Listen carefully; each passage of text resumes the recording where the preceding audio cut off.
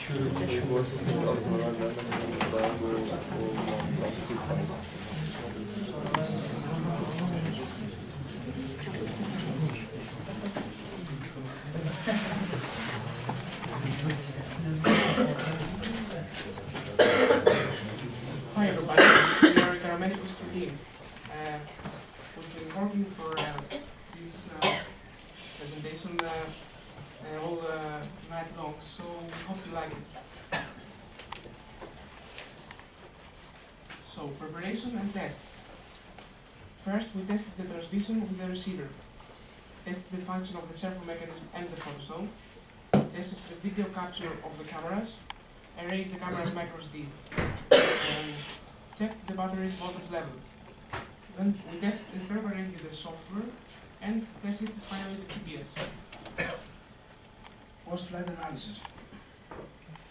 Uh, we, we got a very good signal from the transmitter. It was uh, excellent, except of the phase that uh, went down the ground, but we lost it for some seconds, and then we got it back again. Uh, servo mechanism. The servo worked as expected, really good. It opened the cameras. Our homemade parachute uh, gave us a really good uh, unstable descent. The carbon fiber, the carbon fiber was really strong and uh, survived from the shock and protected the camera. It's uh, completely undamaged.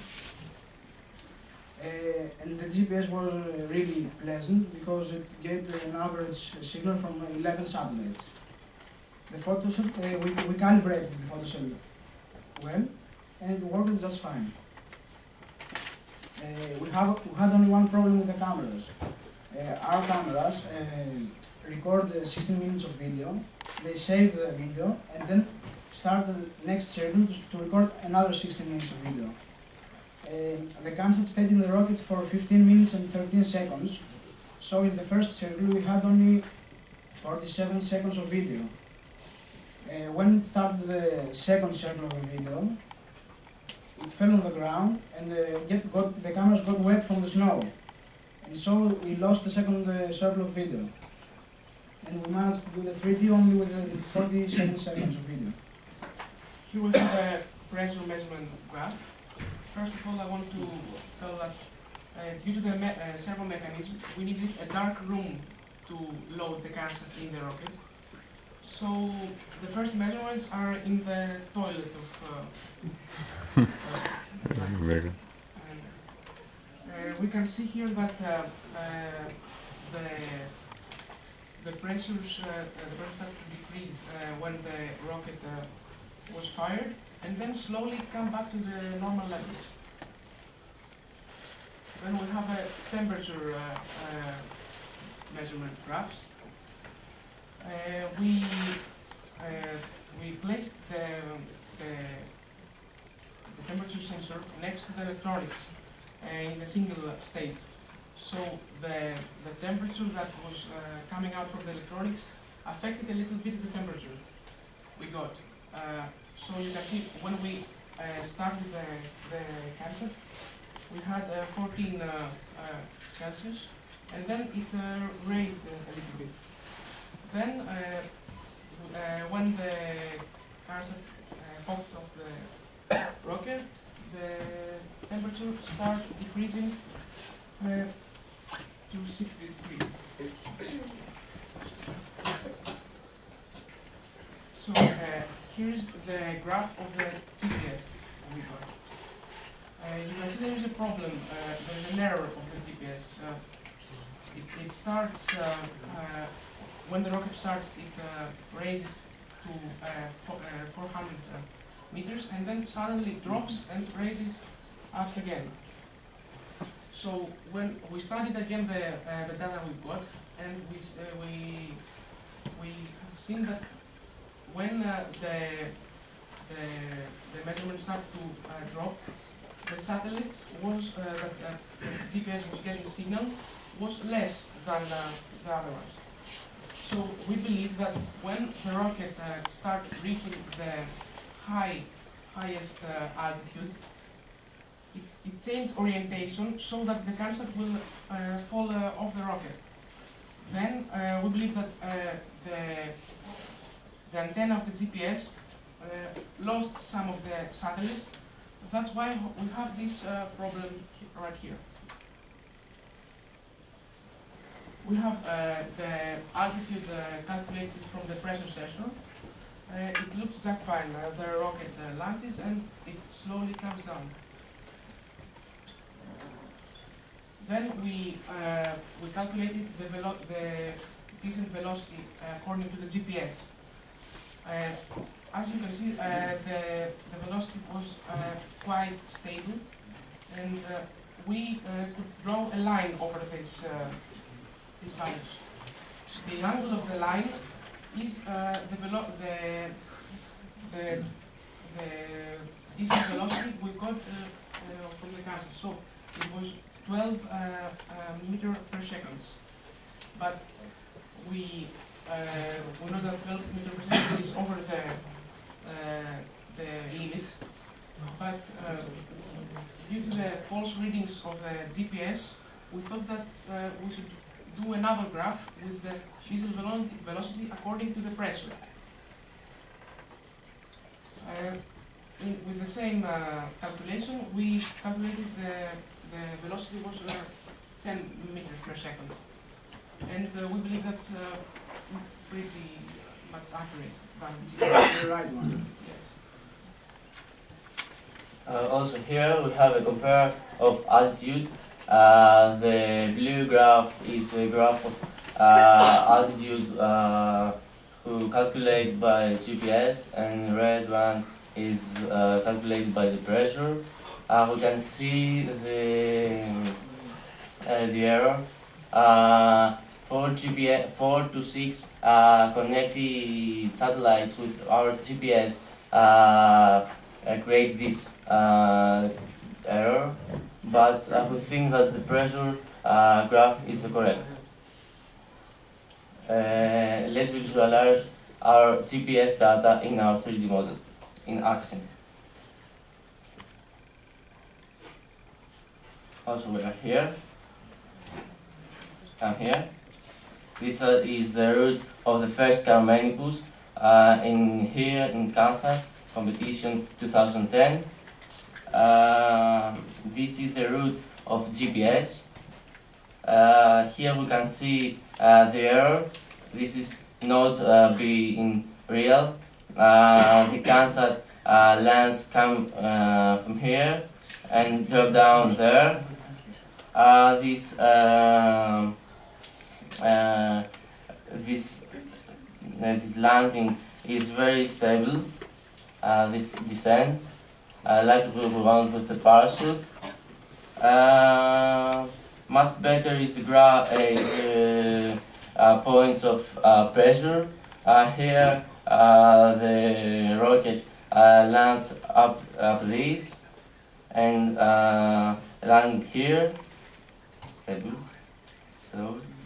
Uh, also, we can see it together the the routes. See the errors here. Uh, in this part, we can uh, almost say that it's the same, but uh, here have uh, biggest uh, error. Let's come back. Okay, here's the construction of our parachute. Here are the, cal- the calculations for the right uh, length of the parachute, and also here. And here's the part that we are stitching and uh, completing its construction. It took us uh, one week time to make it, and we make it we made it red so we can uh, track it in the snow. It's completely homemade, and that's the the, the plans. Now this is the, the carbon fiber construction. That's the, the complete mold of the, uh, the CanSat cover. And here we can see the vacuum infusion process with, with, the, with the vacuum pump here. Also uh, up there is the, there are the construction of the flat pieces of the carbon fiber, right here. And that's the, the, the resolutions. You see the it's completely undamaged. The cameras are removed and the parachute too.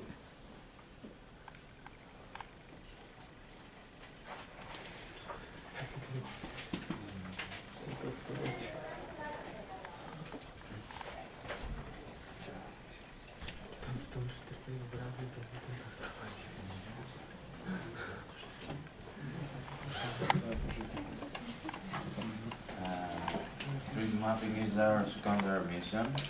Uh, this is a part of the, our mission that we, we had the, the biggest problem. Uh, the video that uh, the cameras captured was only 47 seconds, as we said, and uh, the photos that we took uh, were not well enough to make a good uh, 3D model. So But we, we managed to make. we managed to make uh, something uh, that we could. Uh, the, the first option uh, was to place photos on the already done 3D model. Uh, we didn't manage it because the angle of the cameras and the photos that we took was not uh, great, and we did it with uh, photos from uh, Google Earth. So that's the the place that our cameras would capture if they worked well. Uh, the second uh, way to make the 3D model uh, is something that we used uh, for the first time yesterday night. Uh, it's creating a point cloud using the software Photosynth. Here you can see an example.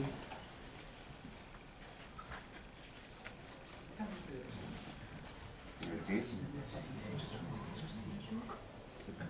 As you can see, those are the photos that we combined. Uh, It's could- just- Could we close the lights? So you can see the point cloud.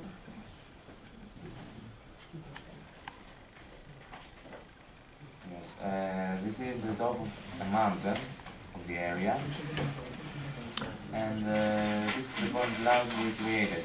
Uh, It's the common point of the photos. This one is clearer, I think. Uh, those are the other photos we combined. And that's the point cloud. Here is the mountains. And we also used a third uh, way to make the 3D mapping, which is creating a mesh using photogrammetry software uh, named Autodesk 123D Catch. Uh, here it is.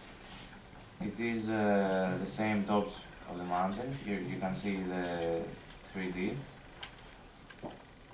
And uh, we al we've also done uh, the same thing with a lake and uh, the mountains. And we've also cut the sky because it uh, was difficult to make the 3D model with the sky in it.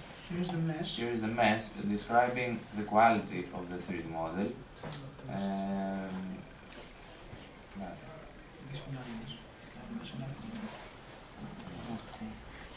Here's the Here's other photo. As you can see here, the quality is better because uh, the quality of the photos.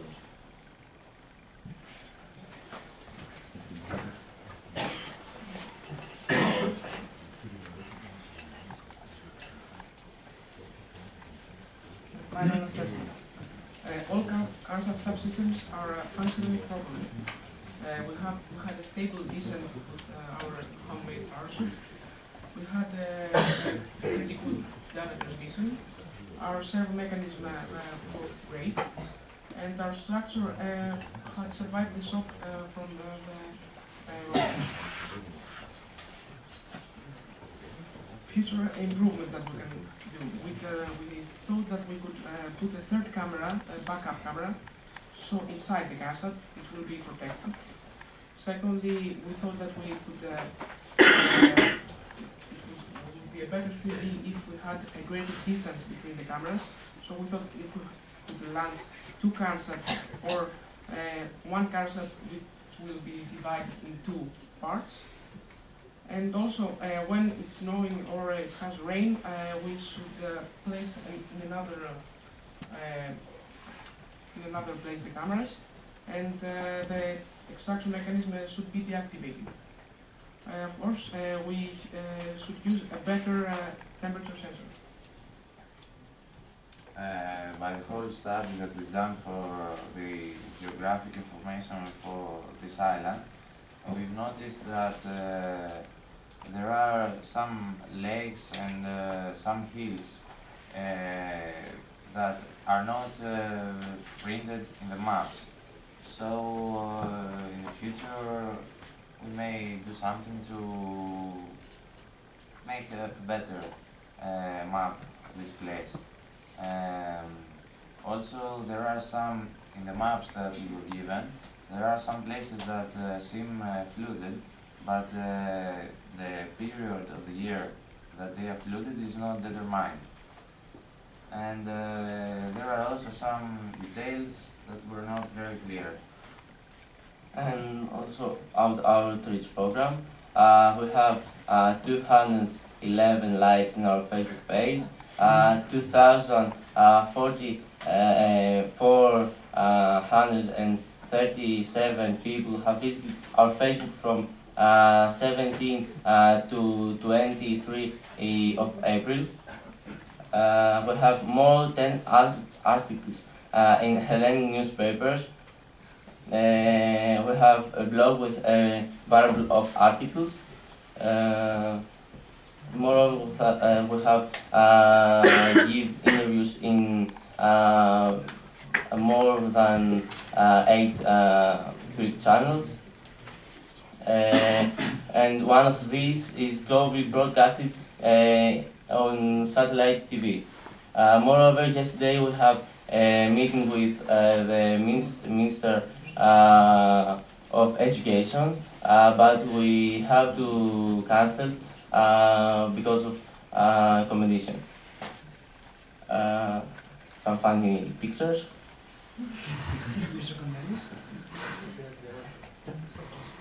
Uh, any questions?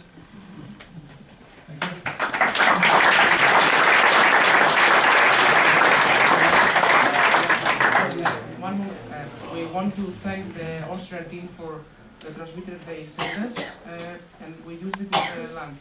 And also uh, ESA and NAROM for this lifetime experience. Thank you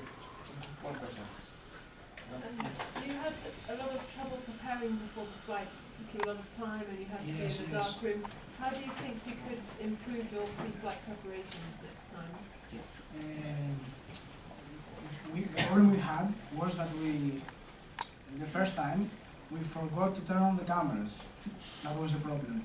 So we, we will Because be- they moved us two rockets, uh, they, they moved us two rockets before, so so we were anxious and we were running, and we forgot. That was the problem. and then the problem was solved and uh, We launched the launch. So you wouldn't change anything? Be more uh, responsible. Okay, thank you very much. Thank you.